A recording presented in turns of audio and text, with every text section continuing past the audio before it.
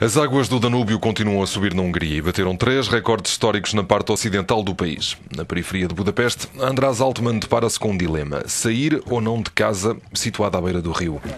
Um dia antes das suas chaves de casa no portão do jardim, no dia seguinte para as ir buscar, só faltou mesmo mergulhar.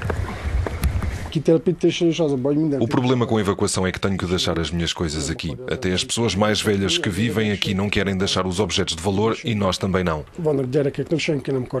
Provavelmente só sei quando a casa estiver completamente inundada, mas só nessa altura.